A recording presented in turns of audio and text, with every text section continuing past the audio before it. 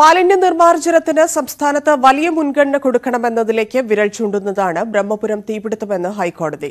Bio medical മാലിന്യ നിർമ്മാർജനത്തിനും ജില്ലാ ഭരണകൂടത്തിന് വ്യക്തമായ പദ്ധതി ഉണ്ടാകണമെന്നും കോടതി പറഞ്ഞു. ജില്ലാ കലക്ടർ അഡീഷണൽ ചീഫ് സെക്രട്ടറി മാലിന്യീകരണ നിയന്ത്രണ ബോർഡ് ചെയർമാൻ എന്നിവർ ഓൺലൈനിൽ ഹാജരായി.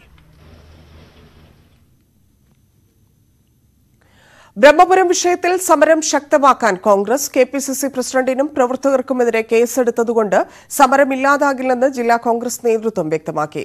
നഗരസഭാ ബജറ്റിൽ നിന്ന് ഉൾപ്പെടെ വിട്ടുനിൽക്കാനാണ് പ്രതിപക്ഷത്തിന്റെ തീരുമാനം. കലാപാഹ്വാനത്തിനാണ് കെ പി സി സി പ്രസിഡന്റിനെതിരെ കേസെടുത്തിരിക്കുന്നത്.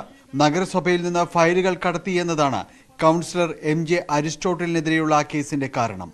ഓരോ ദിവസവും കൊച്ചിൻ കോർപ്പറേഷനിൽ ഭരണ പ്രതിപക്ഷ അംഗങ്ങൾ തമ്മിലുള്ള വൈര്യം മുറുകുകയാണ്.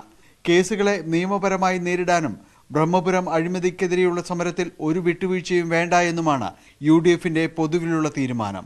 സി പി എം ഓഫീസിൽ നിന്നാണ് പോലീസിനെ നിയന്ത്രിക്കുന്നതെന്നും വരും ദിവസങ്ങളിൽ കമ്മീഷണർ ഓഫീസിലേക്ക് മാർച്ച് നടത്തുമെന്നും D C C president Muhammad Shiyas പറഞ്ഞു. കുറ്റവാളികളെ സംരക്ഷിക്കുന്ന സമീപനമാണ് സർക്കാരിന്റെതെന്ന് ഇതിലൂടെ നമുക്ക് മനസ്സിലാക്കാൻ സാധിക്കുന്നു. അസഹിഷ്ണുതയാണ് ഇത്തരത്തിലുള്ള സമരങ്ങളിലൂടെ സർക്കാർ പ്രകടിപ്പിക്കുന്നത്.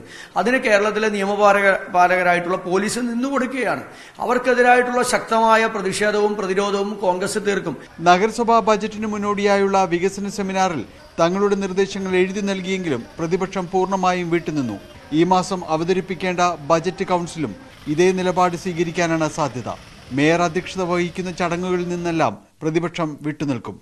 News eighteen Kochi.